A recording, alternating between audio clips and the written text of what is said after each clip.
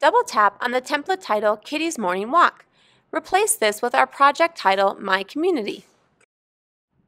Double tap on the author's name and replace it with your class name, as if this were project were a class book, for example, by 1A or by Miss Apodaca's class. This text will be auto-formatted to the style assigned by the template.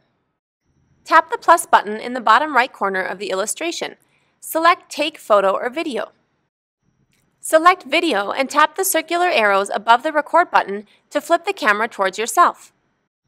Tap the red Record button to record. Record a video of yourself, the author of the book, introducing El Paso and explaining why it's a great place to live. Note, there's no right or wrong answer here. The purpose of this activity is to practice adding video to a Pages project.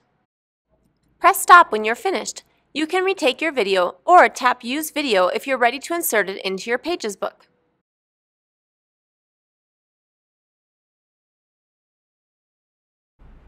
Tap the video to select it. Open the Format menu.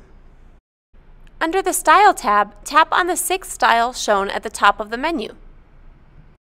Set the scale of the border to 70%.